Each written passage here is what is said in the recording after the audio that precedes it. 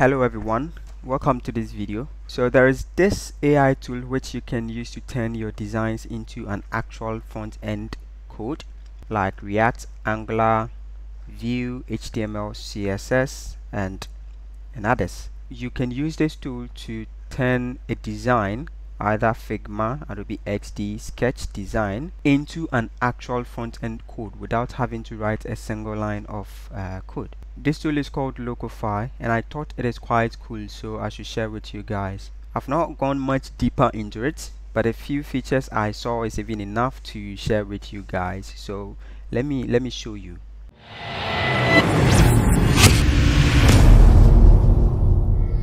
So here when you go to locofy.ai the first thing you're going to you're going to do is to log in or sign up.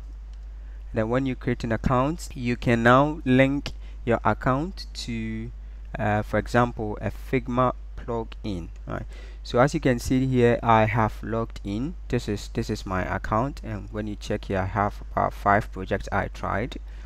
And when you come to figma as i have here and you go to the plugins section. So for example you can click here go to plugins and find more plugins if you don't have it. I have installed it. So as you can see here recently Locofy the free beta version. So it is currently in beta version at the moment. But um, it is still quite cool I mean what it can do so you can search for it if you don't have it and then when you search for it it is going to ask you to link your Figma plugin to your account. It's going to automatically detect your account if you've logged in from the browser and then it's going to sync your account with the Figma plugin. Once you do that you now have the Locofy plugin in Figma. You can turn your design for example like this design here into an actual code so this is a this is a design from Figma community. As you can see there are other pages here but I've, I've just said in them. Just want to use only the login page yeah. So let's try and use this UI here. Uh, it's a simple login account to like test the features of uh, first of all you can maybe right click and then uh, go to plugins and then you open the Locofy plugin. Once you open the Locofy plugin once you have linked your account it is going to open this Locofy plugin here to create a new project. So here I'm going to call it um, login test.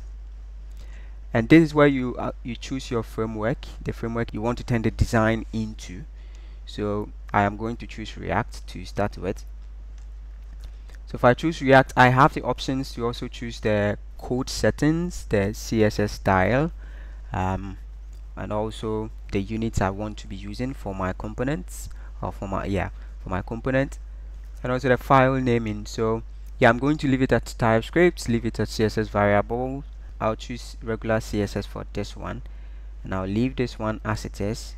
And then when I click create it is going to create a new project for me so as you can see here login test. So this is the login component we want to turn into like a code.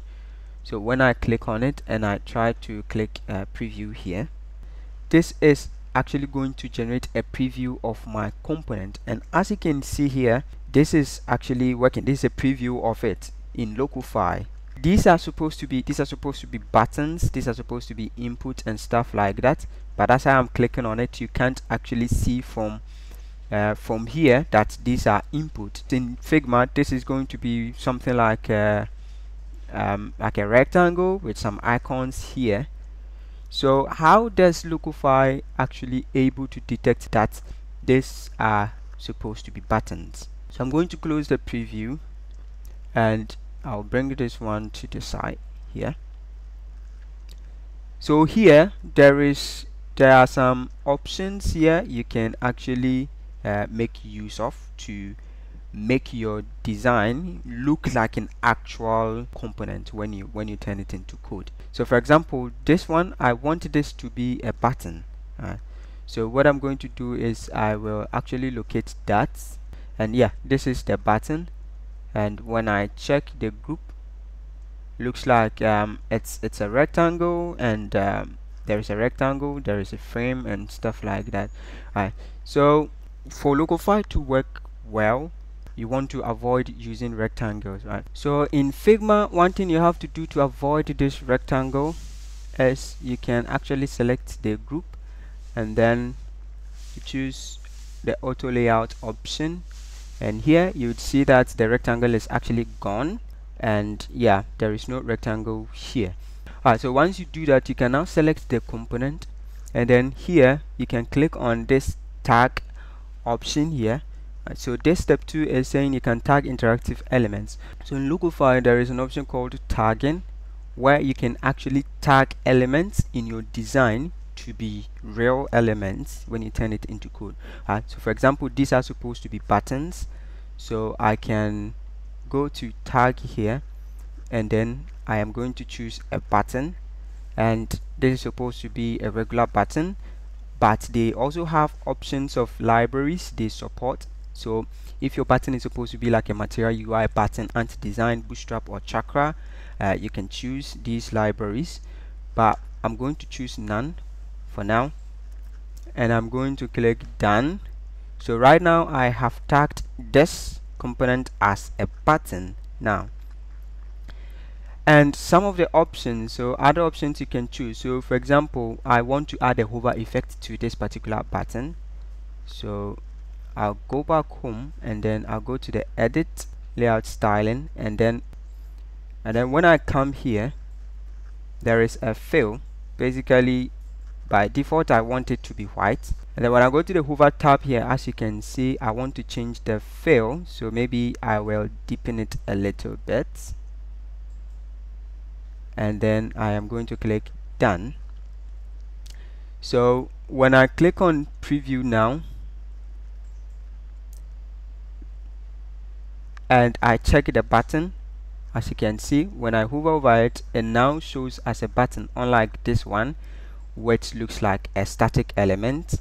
Um, so this now looks like this now looks like a button so you can actually customize this button to look exactly the way you want so that when you generate the code it is going to be an actual button so you can tag all these elements to be the appropriate element and then um, you can you can actually generate the correct source code for it. So let's try let's try a few of these. So the next element i'm going to tag is the input element here so i'm going to tag this first one. This is supposed to be an email input. So i'll go here and then i'll click tag. And this is going to be an input. And i can choose i can choose um none. Or i can choose like a material design. So let me try material design. And i want to choose this one. So here you can choose the type. If it is email I want to choose an email you can enter a name here. You can also enter a label here um, placeholder. I can say email. And then here you have the option to like set the required disable full width and other other things like that. Alright so this is how this is basically how it's going to look like. We don't we are going to lose the icon and I mean that's fine because I just want to show you like the target the target option. But you can go ahead and uh, look at how to maybe add the icons and and stuff like that. Um, but yeah this is basically fine for what I want to show you. Um, so when I click done and I click preview again let's see how the input is going to look like at the moment.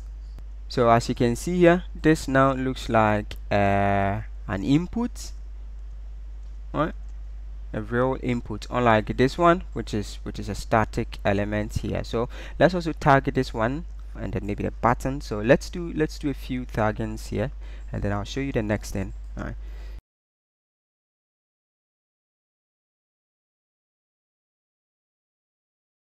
And this is a password. I want to enable the eye icon here.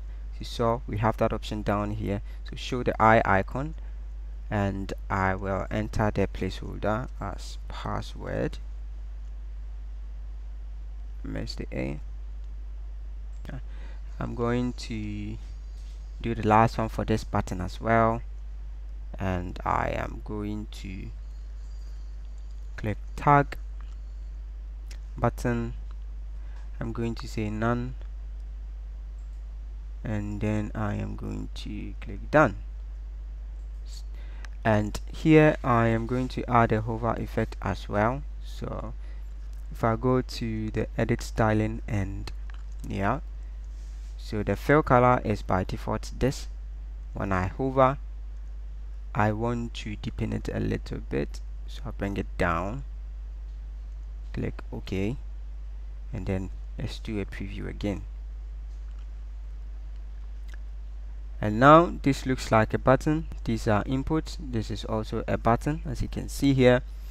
So yeah you can go ahead and customize all the components you have in your design to make it look like an actual element so that um, when you generate the code it's going it's not going to generate like unnecessary like elements in your code. It's going to generate like actual input and stuff like that yeah there, there are a lot there are a lot of options in Locofy like the actions. So for example this button if I wanted to like switch to a different page for example I can choose the change page. If I have like other pages uh, I can choose like change page and then I can actually choose the page from here.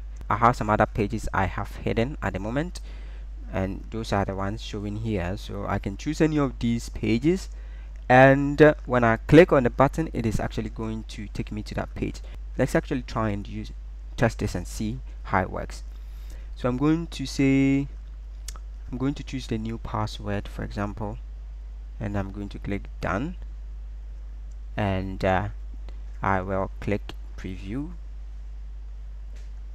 And when I click on this button it's going to show the new password but because it is hidden it's not going to show. So let me make it let me unhide it and then let me do a preview again and then click on this. And yeah it shows it shows the new password page. Right so you can have you can have navigations as well on your pages and uh, and yeah other other cool features as well. So I mean you can you can try and check it out like go through the options and uh, yeah try to customize it to like see how it's it really works. Now the next cool feature I want to show you with Locofy is uh, syncing to the builder right? So you after after you customize your design you can actually sync your design to the builder. So this is actually going to open in the browser so let me bring this one here. Let me cancel it for now. And let me choose the login page. And I want to sync it to the builder. So I click on it and I choose the one frame selected which is the login page. Which is the login page. And I go to view code in builder. Locofy has a builder which is more like uh, like an editor where you can edit and further customize your your code which is going to be generated. Right so this is synced to builder. When I go to view code because I have logged in already it is going to open for my account.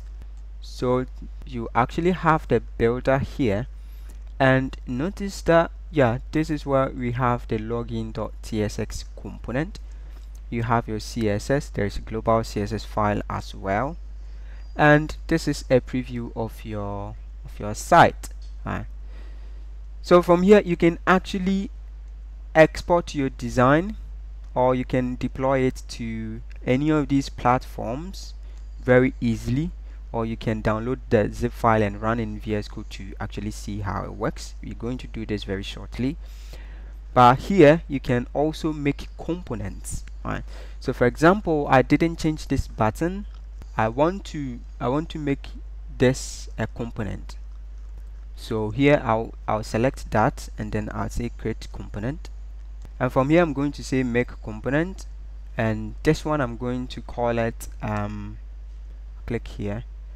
And I'm going to call it um alt button create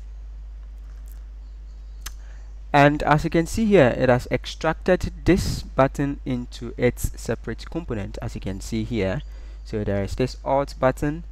And here you can add props to your component right? So for example there is the logo and then there is this Google uh, text.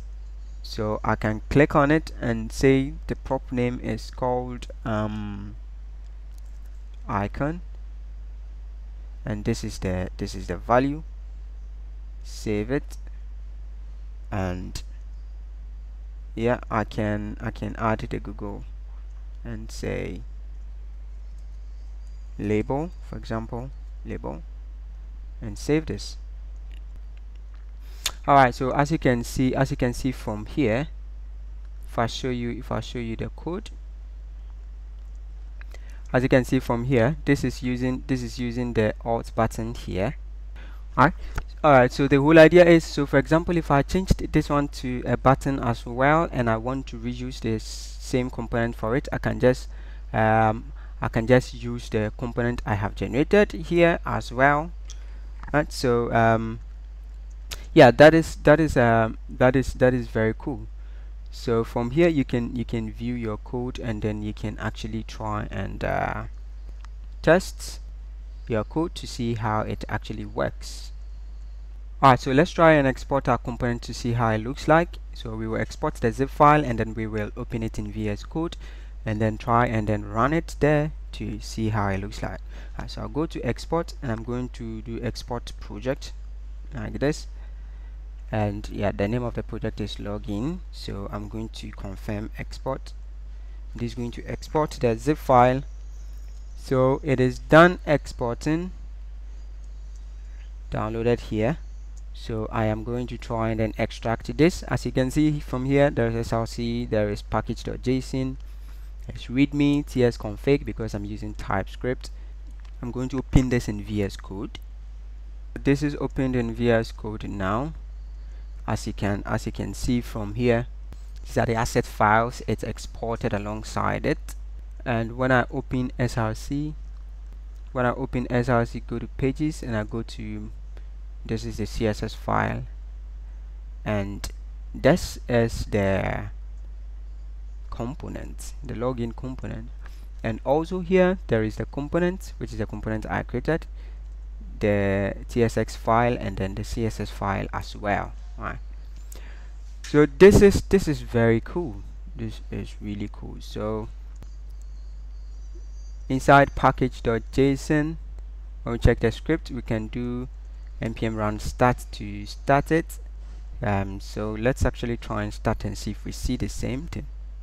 So I'm first of all going to do npm install just to install the dependencies and once this is done installing I am going to do npm run start to start it. So I'll do npm run start to start the dev server. And yeah as you can see here we actually have the component running. We actually have the component working when we run it in VS Code as well.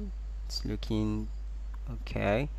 And so yeah you can turn you can turn a complete website design into an actual front-end code right? And it's it's very very cool. This is supposed to be like a quick look at uh, Locofy a quick look at how you can use Locofy to turn designs into like an actual front end code yeah. So I mean if if you find it interesting you can actually check it out explore like all the options in helping turn your component into a real world website yeah so basically that's it for today's video. Thank you for watching and uh, don't forget to subscribe to the channel. I am going to see you in the next video